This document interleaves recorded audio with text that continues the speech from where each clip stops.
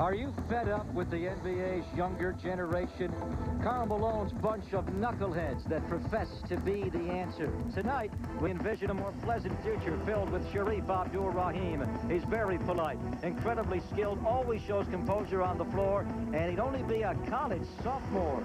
Of rookie Shareef Abdur-Rahim. Such a contrast when we first saw him November the 3rd as he went out and displayed all of his offensive skills. Look at this. He goes out on the perimeter, gets to that triple threat position. He can go inside, score for bigger players. He can adapt. He can adjust.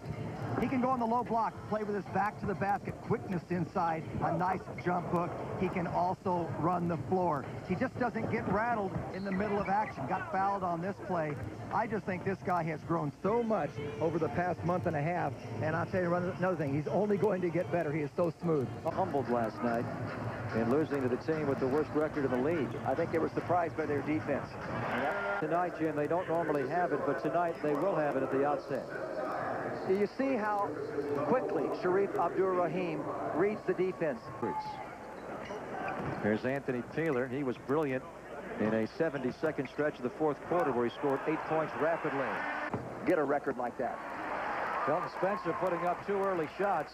Up the floor, Abdur-Rahim. We mentioned at the top that Abdur-Rahim can get out and run. And they look for him because why not? He's a great finisher. Last night they were doubling with the point guard. That's what Felton Spencer wants to do, make him turn to the baseline. They don't want to let Shareef Abdur-Rahim do that. A moment. When the ball goes back, inside, Joe Smith just simply does not get body contact, and all of a sudden that quickness of Shareef knocks one down. Up the floor, Donyell Marshall runs out. Vancouver gets back, they block his shot. They'll try again, they block it again. That's why when Patrick Ewing came into the NBA, he wanted to wear that sweatshirt that he wore at Georgetown. They wouldn't allow him to. Here's Abdul Rahim. Allen called a 20-second timeout when the game was 4 to nothing. Now, this is the first basket and the first points of the second half. Mullin, the miss. Good rebound by Abdul Rahim. Taylor scores. Clean up. Mayberry. That may have been blocked by Joe Smith. Rebound to Shareef. Gets the bounce. Steele, Sprewell threw it away.